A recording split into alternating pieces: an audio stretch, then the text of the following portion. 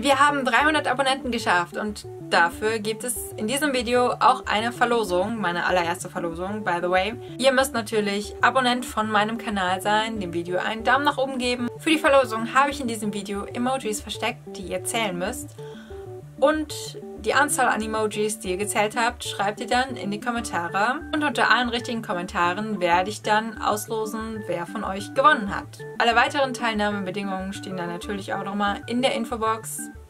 Da könnt ihr das nochmal genau nachlesen. Und ich wünsche allen Teilnehmern viel Glück und wenn ihr nicht gewinnen solltet, es ist kein Weltuntergang, Leute. Ich bitte euch einfach, fair zu sein und keine Hasskommentare zu schreiben. Hallo Leute und willkommen zurück auf meinem Kanal. Ich habe den Glossybox Adventskalender bekommen. Yay! Wir werden heute ein Unboxing machen, aber bevor wir das machen, ein Wort zu Glossybox. Ich habe den Kalender vorbestellt, also vor dem 1. Oktober schon bestellt. Ich habe gefragt, wie das denn funktioniert mit dem Abo, weil ich hatte extra ein Abo abgeschlossen, konnte den Kalender aber nicht für 100 Euro vorbestellen, weil letztes Jahr war der innerhalb von zwei Stunden oder sowas ausverkauft und das wollte ich halt verhindern, dass ich den dieses Jahr wieder nicht bekomme. Nun ja, habe ich halt gefragt, wie das denn funktioniert mit dem Vorbestellen. Ähm, ich glaube, irgendwo auf der Seite stand, innerhalb von 24 Stunden meldet sich der Kundenservice bei einem. Es hat vier Tage gedauert, bis ich eine Antwort bekommen habe, mit einem Verweis zu einem Link, der mich zu einem Blog geführt hat von Glossybox, wo überhaupt gar kein Hinweis stand. Es hat sich für mich so angehört, als hätten die noch nicht mal meine Frage wirklich durchgelesen, so eine einfache, die wir bis zum Adventskalender wissen. Schicken wir die mal zu unserem Blogpost. Yay! wo überhaupt gar keine weitere Information zu meiner Frage stand. Vor ein paar Tagen hat Kisu auch ein Unboxing zu dem Adventskalender gemacht und dafür hatte sie auch einen Code, der sieben Tage gültig ist, dass man den Adventskalender für 100 Euro bekommt. Ich so, yay! Jetzt habe ich ihn für 140 vorbestellt. Also habe ich Schlaufuchs einfach mal meine alte Bestellung storniert, weil der Kalender noch nicht da war und mir einen neuen bestellt für 100 Euro. Bei dem für 100 Euro stand voraussichtliche Lieferung 22.11. und bei dem vorherigen stand voraussichtliche Lieferung 15.11. Andere haben den Kalender schon viel vorher bekommen. Ich weiß nicht, nach welchen Regeln die die Kalender verschicken. Ich habe keine Ahnung. Ich habe noch mit einer anderen Person darüber geredet, die hat den Kalender später bestellt als ich und eher bekommen. Das ist auch wieder so ein Fakt. Aber nun ja, ich habe ja meine alte Bestellung storniert, weil sie noch nicht zu mir geschickt wurde. Und nachdem ich die Bestellung storniert habe, das war an einem Sonntag, am Montag kriege ich gleich zwei E-Mails, dass beide Kalender verschickt sind. Ich so, what? Ich habe den einen storniert und den anderen gestern erst bestellt und da stand voraussichtliches Lieferzeit da 22.11. Ich so, hä? Wir haben jetzt noch Oktober, wo ich dieses Video hier gerade drehe. Ähm, vollkommen konfus, vollkommen verwirrt. Also diese Zeiten, die da stehen, die kann man absolut nicht für voll nehmen. Jetzt habe ich zwei Kalender bekommen, wo ich den anderen teuren aber wieder zurückschicken werde, weil ich mir das nicht leisten kann, zwei Kalender zu kaufen. Bin mal gespannt, wie lange der Kundenservice braucht, um sich da zu melden. Also heute, wo ich das Video drehe, ist dieser Kalender auch bei mir angekommen und ich habe mich heute schon zweimal beim Kundenservice gemeldet, dass die den doch bitte stornieren und mir die Daten geben, wie ich den wieder zurückschicken kann. Und ich hoffe mal, die brauchen nicht wieder vier Tage. Weil es geht von meiner Zeit ab, die ich Zeit habe, denen das zurückzuschicken. Also nach meiner Meinung ist der Glossybox Kundenservice überhaupt nicht gut. Und es kommt mir auch sehr unseriös vor, weil die Lieferzeiten von beiden Kalendern haben viel länger gedauert und dann schicken wir mal einfach beide los, wo ich den einen storniert haben wollte. Da hat sich bestimmt einer gedacht, oh Mist, die will den jetzt stornieren. Schnell, schicken wir beide los, vielleicht behält sie ja beide. So kommt mir das gerade vor. Von wegen, oh ja, hoffentlich behält die beide, dann müssen wir da kein Geld zurückzahlen. Ich weiß nicht, wie es ist und ob es so ist und keine Ahnung, ich erfahre nicht, was diese Person, die meine Nachrichten da bearbeitet, denkt. Ich freue mich trotzdem, dass der Kalender bei mir ist. Ja, ich finde ihn mega schön. Das roségoldene, das rosa Packaging. Ich weiß auch schon, wofür ich den Kalender weiterhin verwenden werde. wenn er denn dahin passt, wo ich ihn hinstellen möchte. Das weiß ich noch nicht, das muss ich später ausprobieren. Und los geht's mit dem Unboxing. Let's go! Das erste Päckchen.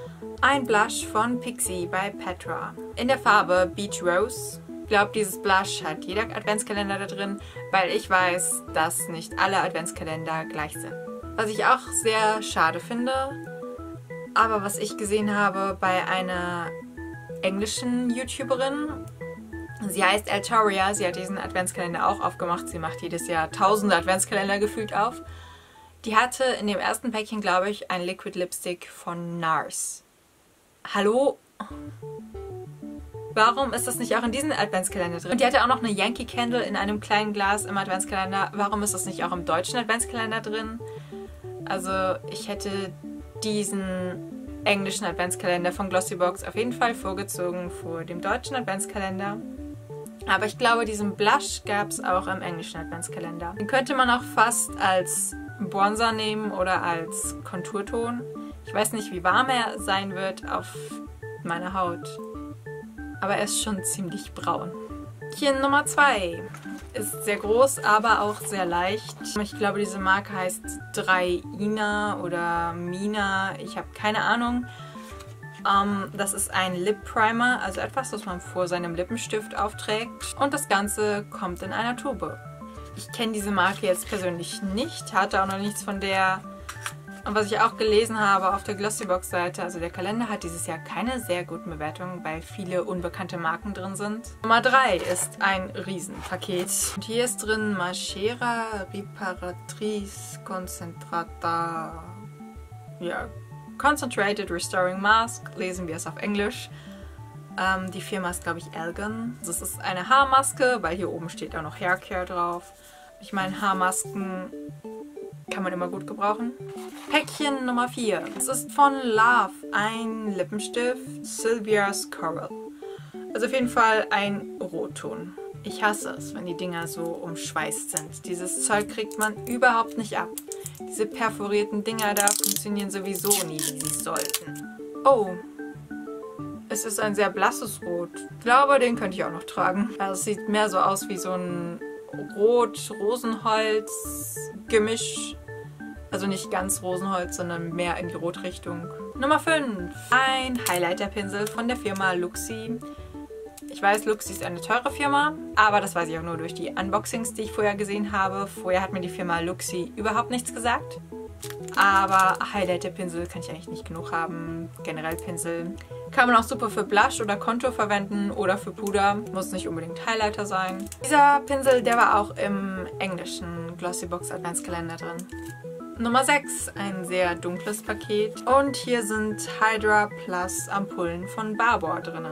Ich habe noch nie etwas von Barbour benutzt, weil Barbour sehr teuer ist. Ich war auch vorher noch nie so der Ampullenmensch, aber jetzt wo ich es habe, weil die hier sind feuchtigkeitsspendend und ich habe trockene Haut, ganz besonders im Wangenbereich und da kann ich die mal ausprobieren.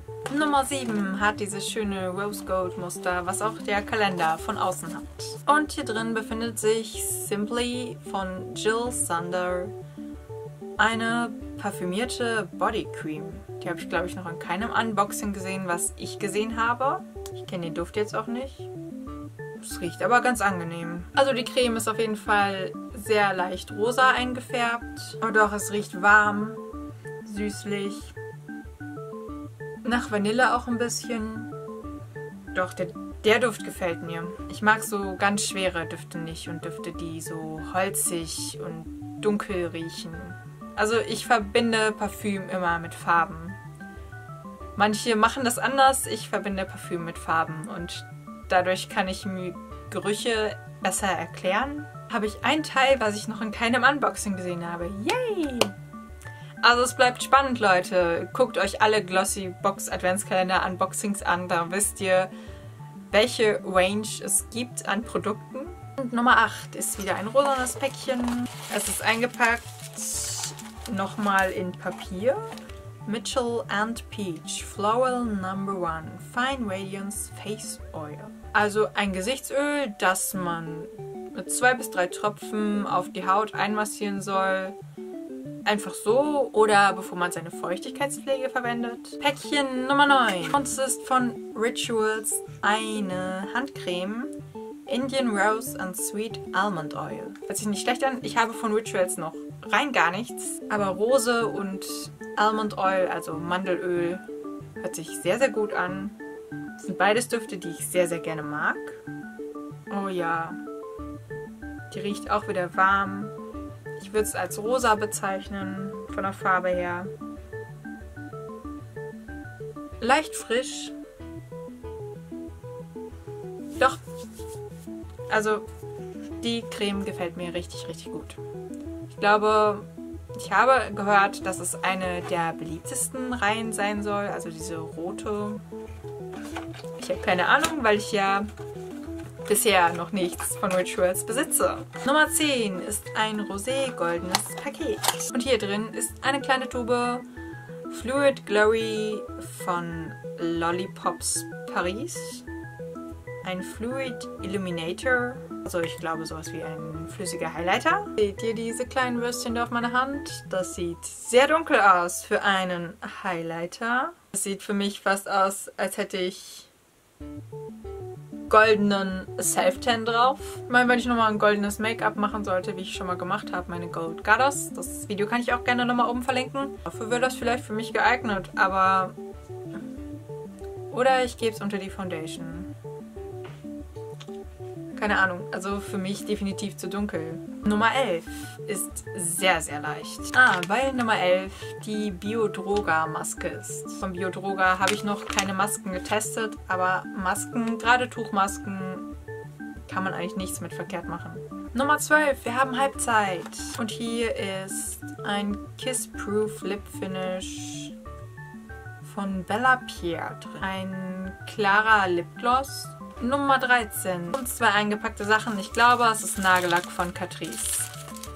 Das habe ich auch schon in anderen Unboxings gesehen. Es ist auch Nagellack von Catrice. Einmal ein Polish Chrome Effekt, ein Base und Topcoat dafür. Nun ja, ich trage nicht wirklich viel Nagellack, eigentlich so gut wie gar nicht. Oder es sei denn, ich habe mal wirklich Lust drauf. Und was ich auch ein bisschen blöd finde, das ist ein Kalender, der 140 Euro kostet. Und Catrice, eine Drogeriemarke. Nummer 14. Hey Honey, das ist ein Concealer, den habe ich auch schon gesehen. Light to Medium Tone, All Skin Types. Das hier ist allerdings nur eine Probegröße. Der echte, keine Ahnung, kostet irgendwie 20 Euro oder so. Also ist schweineteuer. Und ich glaube, der ist für mich zu dunkel. Der ist definitiv zu dunkel. Nummer 15. Okay, hier drin ist ein Peeling-Schwamm. Ist ganz nett. Der Peeling-Schwamm, ist sowas, ja, man benutzt es, aber freut man sich, das zu benutzen? Also ich fände es cool, wenn da Produkte drin sind, wo man sich freut, die zu benutzen. Zum Beispiel eine gut duftende Creme, ein Lippenstift, von dem man die Farbe schön findet, eine Lidschattenpalette, die man schön findet oder sowas. Peeling-Schwamm ist Peeling-Schwamm. Was ist daran jetzt toll, dass man sich darauf freut? Machen wir weiter mit Päckchen Nummer 16. Und hier drin ist von Nutriskin ein Hyaluronwasser mit antibakteriellen Silberpartikeln. Ist ganz nett. Ich meine, Hyaluronsäure mag ich sowieso sehr gerne. Flüssigkeit kann ich auf jeden Fall immer gebrauchen. Ich meine, Leute mit öliger Haut, für die könnte das vielleicht weniger was sein. Ich weiß es nicht. Nummer 17. Das ist von der Firma Ico ein Fat Eye Pencil. Hat auf jeden Fall ein Satin Finish, aber Farbe... Steht das irgendwo? Ein warmes Silber würde ich es jetzt so bezeichnen. Ja, ist ganz okay, aber ich glaube, meine Farbe ist es nicht und ich benutze sowas sehr selten. Nummer 18 ist sehr groß, aber auch wieder sehr leicht. Hier drin. Ah, ein Cognac Sponge. Ich habe davon schon gehört, ich habe mich mit dem Thema überhaupt nicht auseinandergesetzt. Ich weiß, dass er zum Make-up entfernen oder zum Cleansen, also zum Reinigen da ist. Bei der täglichen Reinigung von Mischhaut, fettiger Haut und bei hormonellen Hautproblemen wird das Gleichgewicht wiederhergestellt. Angereichert mit Bambuskohle für eine porentiefe Reinigung. Klärt verstopfte Follikel, beugt Unreinheiten vor aber bei der täglichen Reinigung von Mischhaut fettiger Haut und bei hormonellen Hautproblemen. Ich habe keine hormonellen Hautprobleme. Mischhaut ja, okay. Fettige Haut nicht. Eher trockene Haut. Ist es denn überhaupt gut, dass ich dieses Ding verwenden würde? Erstmal Internet nachher nachgucken, ob das Ding überhaupt für trockene Haut geeignet ist. Ansonsten muss ich es wohl an irgendwen anders verschenken. Nummer 19. Und hier drin ist Unani Casual Smoothing Facial Scrub Oil Free Orange. Ja. Also ein Peeling. Trifft sich gut. Mein Peeling ist so gut wie leer. Nummer 20 von Yves Rocher. Ein Lipgloss oder ein Liquid Lipstick. Bei Yves Rocher steht immer auf alles auf Französisch drauf. Es ist auf jeden Fall ein Rotton. Und Leute, Schocker, dieses Ding soll 20 Euro kosten. Aber das bei einer anderen YouTuberin gesehen. Ich weiß nicht mehr, wer es war. Ich habe mir sehr viele Glossybox Adventskalender Unboxings angesehen. Offensichtlich. Ähm, und 20 Euro Yves Rocher. Meine Mutter hat damals sehr viel von Yves Rocher gekauft.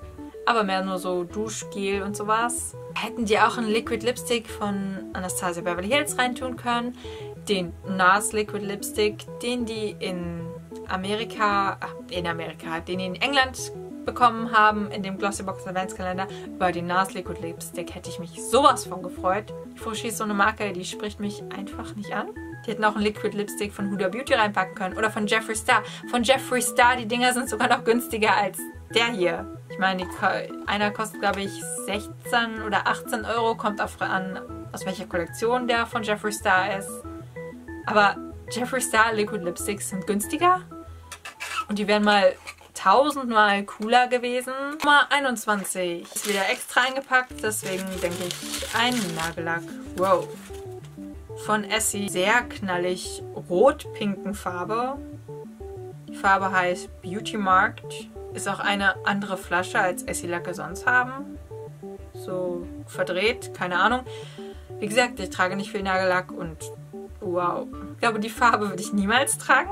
Nummer 22. Hier drin befindet sich eine Mascara von der Marke Duce. Du. Keine Ahnung. Es soll eine Mas Mascara sein, die für Volumen sorgen soll. Nummer 23 von Nip Fab Hydrate Dragon's Blood Fix Plumping Serum.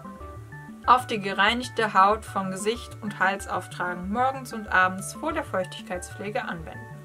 Ist ganz okay, mir sagt die Marke jetzt absolut rein gar nichts. Die Nummer 24 muss ich jetzt hier am Kalender öffnen, weil ich das nicht abbekomme. Und hier haben wir sie, die Huda Beauty Soul Stars Winter Highlighter Palette.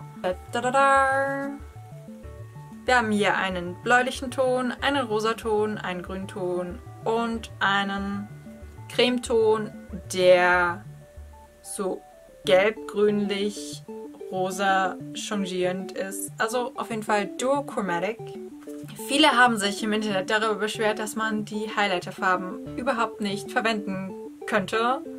Ich liebe solche Farben, also für mich ist das definitiv das Highlight des Kalenders. Allein diese Palette kostet, glaube ich, 50 Euro knapp wenn man sie so erwerben wollen würde. Ich freue mich darüber mega. Ich meine, Huda Beauty, hello! Das ist bei jedem in der 24 drin und das finde ich auch mega, mega cool. Also die 24 ist definitiv das Highlight des Kalenders. Und mein ganzes Fazit zu diesem Kalender ist, ich finde es durchwachsen. Ähm, ich hätte wirklich gerne mehr dekorative Kosmetik gehabt. Vielleicht auch noch einen Bronzer da rein. Noch einen Nude-Lippenstift. Also was, was jeder im Alltag auch tragen könnte. Weil rote Lippenstifte okay. Ich hatte jetzt zwei Stück drin. Einmal den von Love und einmal den von, von Yves Rocher, genau. Zweimal rot man hätte auch wirklich einmal dann ein Nude-farbigen reintun können. Ich meine, manche haben nicht zweimal die roten Lippenstifte, die haben da was anderes drin. Und vielleicht hätte man auch noch eine kleine Lidschattenpalette reintun können. Was ich auch sehr kritisch fand, war der Concealer, den die da reingepackt haben, weil es gibt so viele unterschiedliche Hauttypen und dann klatschen die dann Concealer rein und wissen noch nicht mal, ob das passt. Also Concealer und Foundation haben meiner Meinung nach nichts in einem Adventskalender zu suchen. Oder es sei denn, man kann vorher angeben, Ich bin der hellste Hautton, der auf dieser Welt existiert. Ich bin der zweithellste Hautton, der auf dieser Welt existiert. Und ich bin der dunkelste Hautton, der auf dieser Welt existiert. Dann macht Foundation und Concealer Sinn in einem Kalender. Aber auch nur dann, wenn man das vorher angeben kann. Und die das dann sozusagen zusammenstellen. Was ich auch schade fand, es sind sehr viele Marken drin, die man so eigentlich gar nicht kennt. Also sehr viel unbekanntes Zeugs.